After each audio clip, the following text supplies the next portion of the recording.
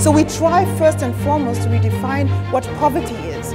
Because in the usual way we see poverty, we define it by what we see visually. Spannende Themen, hochkarätige Vortragende und das alles an einem Tag an einem Ort. Das ist die TEDx Vienna, die am 1. November im Volkstheater in Wien Station macht.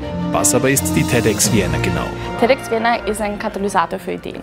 Das heißt, wir bringen neue Ideen, innovative Projekte auf die Bühne und wollen das einerseits die Community in Wien natürlich, damit sich damit auseinandersetzt, andererseits aber natürlich auch die ganze Welt die Talks nachher online anschauen kann. Nach dem Riesenerfolg im vergangenen Jahr werden auch heuer wieder an die 1000 Besucher erwartet und diese können sich auf viele Highlights freuen.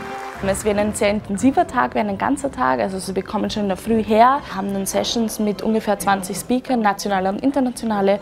Unser Thema ist Brave New Space. Das heißt, es geht wirklich darum, dass wir neue Bereiche erforschen, gemeinsam entdecken, ähm, auch Sachen hinterfragen. Ein Team von 50 Ehrenamtlichen und zusätzlich 80 Freiwilligen am Konferenztag sorgen dafür, dass bei der Veranstaltung alles funktioniert.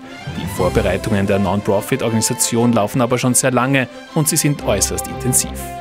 Sobald die vorbei ist, beginnen wir mit dem nächsten Jahr, was das Thema angeht, die Location angeht, welche Speaker wir einladen möchten. Also wirklich ein Prozess des ganzen Jahres. Und man muss dazu sagen, das komplette Team arbeitet auf einer freiwilligen Basis. Das heißt, alle 50 Leute, die dabei sind, arbeiten ein ganzes Jahr lang, damit wir dann das auf die Beine stellen. Wer Lust bekommen hat und am 1. November noch dabei sein möchte, die ganzen Infos dazu gibt es unter www.deadxvienna.at slash brave newspace.